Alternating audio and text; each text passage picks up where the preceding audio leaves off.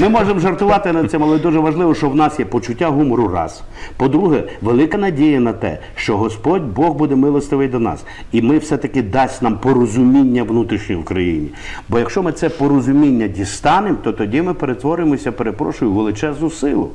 Бо наша нація вона спрямована на те, що ми маємо ще принести користь не тільки собі, людству. І пам'ятаєте, що ми на якій території живемо, де є велика історія до історичного перебування людей, які тут, які тут є частинки, які тут є місця енергетично заряджені. І тому то це спрацює ще на майбутнє неодноразово. І це ми з вами будемо робити. Ну, якщо нам не вдасться, то наші діти. Я зараз думаю, дивлюсь на своїх внуків. А як повести себе дідусю Богдану?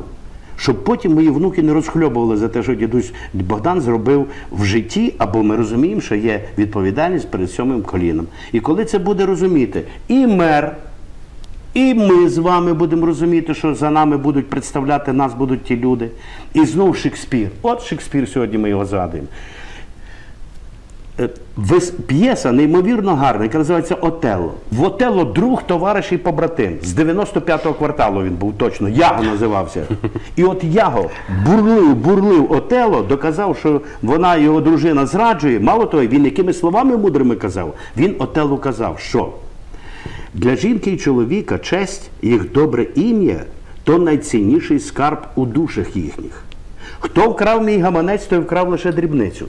А хто у мене вкраде добре ім'я, той вкраде те, чим сам не збагатиться, у мене ж забирає все. От коли ми будемо пам'ятати про це добре ім'я і розуміти, що бізнес має бути український, проукраїнський, тоді і культура буде триматися, і багато тих чеснот раптом в нас з'явиться, що ми і не підозрювали, що ми володіємо такими чеснотами. Ми скажемо, Боже, та в нас душа тоді і повернеться, скаже, що українська нація вона відгукується, відчуває, пісні кращі, може допомогти, може поспівчувати, бо зараз ми всі закриті і навпаки, як слимачки заховалися у свої комірчини і нікого не пускаємо туди. Тому що весь час наше життя обманює. І від того, що нас здурять, ми сталися отакі закриті. Але рано чи пізно ця душа відкриється.